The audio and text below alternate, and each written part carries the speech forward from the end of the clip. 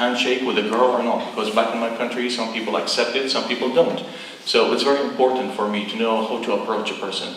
Um, after one year and two months in Netherlands, now I know a lot, but of course not because someone taught me, because I have been doing the initiative of going out and establish some uh, work and of course with some projects, for example the project of humanity was very uh, beneficial for us because they made a project called Buddy Project. They assigned a Dutch person or at least a student uh, within the university. Uh, it was very, very important for us. Uh, this person have taught us a lot. Uh, he was telling us how to act, how to establish friendship, as I told you, how to approach a person, and he was telling us uh, a bit about the culture uh, in, in the community and even in Netherlands, so it was very beneficial for us.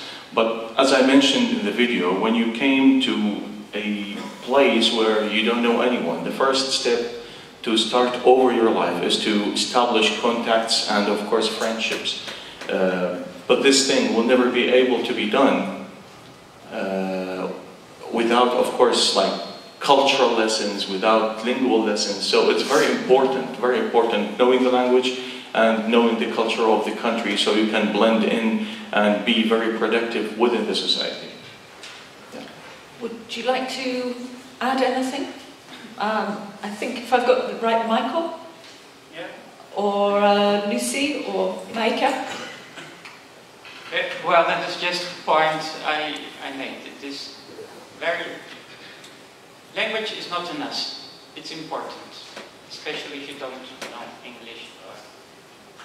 I, for myself, I, I come from Brazil, so I speak Portuguese. Nobody in the Netherlands spoke Portuguese, so I had to learn Dutch. But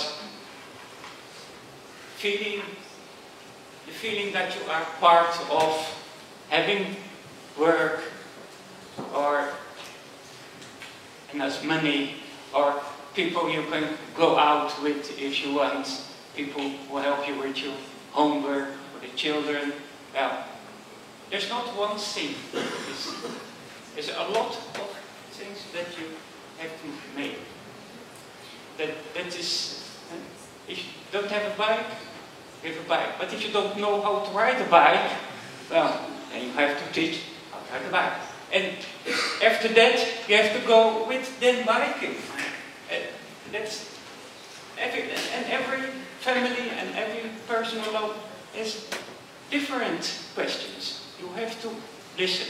And it's difficult for them to tell if they don't the language. But that is not only that. You, you have to like each other and go with each other and and you have and it's not only to give, you have to accept also. If I go and I bring a chair, I have to know that I have to stay for dinner because they have to do something back things like that. Would you like to add anything with that? Well, you just want, always just agree? We'll make it. Now, it's, it's funny that you talk about how to greet each other because realize that I have the same problem. There are two guys from Syria I really know well at this moment, but before we found a comfortable way to greet each other, it took some time. And I'm a bit of a hugger, and one of the two is now giving me a hand first and then a hug, and I said, hey, hello, I know you for a year or two months. What happens? Yeah, I always used to first give a hand and then a hug. I said, okay, it's okay with you, as long as I can get rid of my hug. but what I mean with this is just be honest to each other. I mean, okay, I live in this country and you come in here, but I don't really care. It's for me just as important as for you to know how we greet each other. And when you talk about sometimes the most little things, what is important, then we really get to know each other quickly. Just ask, just say, just say, oh, say, sorry, I did something you don't like. Um, what is it? Um, we had a black day, we too, because we gave a language lesson and nobody came. And then, yeah, laugh but we were sitting there with the coffee and the tea and the cookies and the chips and the whatever for us. We had a great afternoon together. But um, in, the, in the first time I thought, oh, those pitiful refugees. We can't blame them, uh, they have a hard time. But now we said, no, we're just angry. I mean, they all have apps. If you can't come, just give an app and we know you can't come, whatever reason. You don't really have to explain, it's voluntary. So be honest, let's treat each other like we're all people, because we are all people. We are born in different countries, but when you really get to know each other, you're in fact all the same. Thank you very much. Thank you all. Thank you.